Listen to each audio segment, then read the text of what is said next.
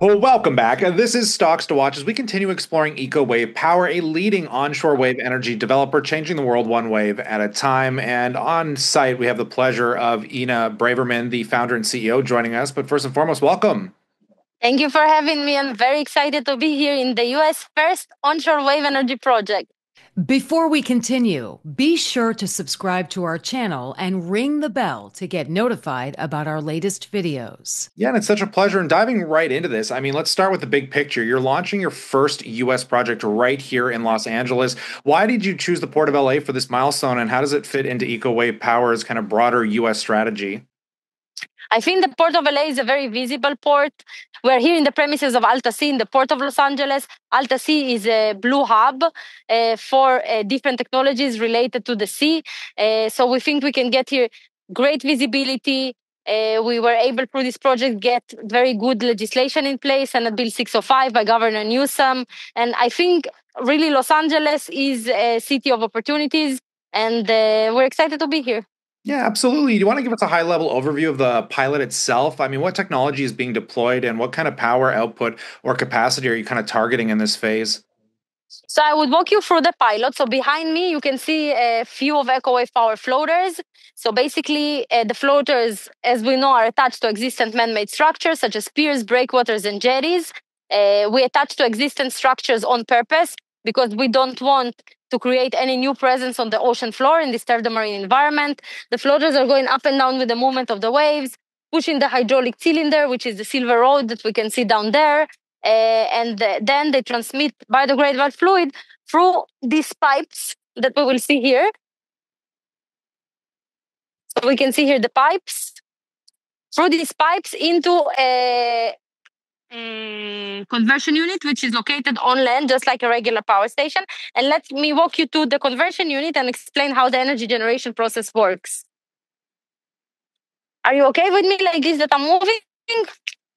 Yeah, no, it's no problem at all. And maybe while you're walking here, this project involves Yeah. strong collaboration. I mean, you have AltaSea is hosting the site, and Shell Marine Renewables Energy has kind of stepped in as a co-funder. Uh, what brought these partners to the table, and how does each one contribute to the project's success?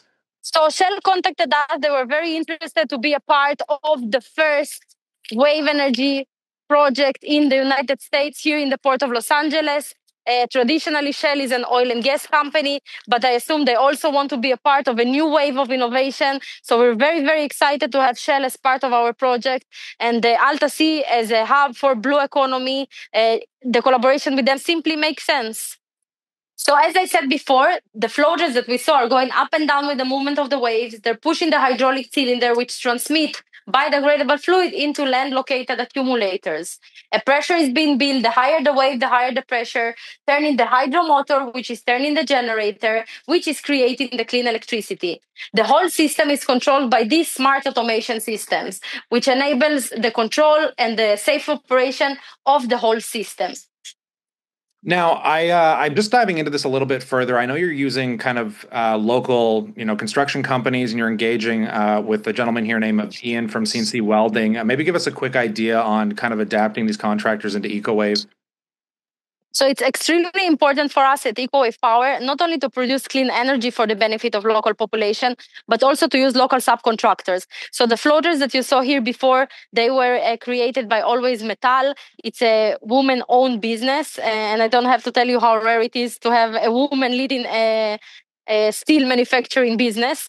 Uh, all the installation works were done by C&S Welding, and we have Ian here, uh, the owner of C&S Welding, uh, joining us, uh, who is in turn integral part of our installation process. He installed the whole floaters, and we hope to work with him also in other uh, projects. And he will share a little bit of his experience uh, from the installation work.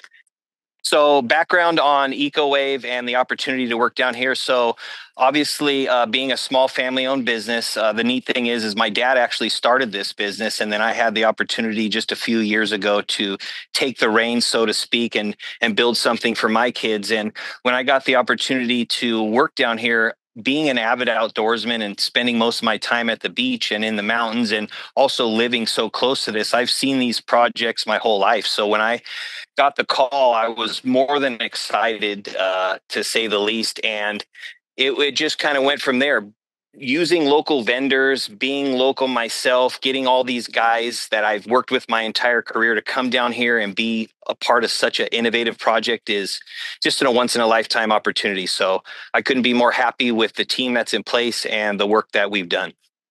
The police showed up to the job one day, and down here, usually when the cops come, you know, everybody kind of goes, Oh my gosh, what are they for? Uh, we actually walked up. I walked up to the guy. I'm like, Excuse me, sir, can I help you thinking that we forgot a hot work permit or we didn't have the right things in place. And the guy actually came up to me and he was like, Hey, I just want to see the project. Me and another partner of mine had invested in this and we wanted to see what it would look like in real life. So it was a really neat experience to see that, you know, I'm local and I'm invested and then local police officers are stopping by because they invested in something like this. So it was a, it was a neat story. And just uh, rounding this off and just kind of taking a look at where we're at to where we're going. I mean, currently uh, with your pilot plan expanding in the US, what does that look like moving forward? And how do you continue to expand in the United States? So this pilot is very important to us since it's here to set regulatory framework for EcoWave power in the United States. Uh, we got experience here in working with the Army Corps of Engineers and with the Port of LA, kind of setting the precedent to regulating these sort of projects in the United States. It will also serve as a demonstration hub for scientists, for students, for press, for investors, for media, uh, making wave energy accessible to all. Uh, we're also planning some R&D here uh, discovering what's the best materials to build the floaters from, what's the best paint to use, and doing different types of collaborations with organizations such as PNNL and NREL. And now our next steps in the United States are very, very exciting. Um, our goal here in the Port of LA is actually to expand the pilot and to grow it into a commercial scale installation.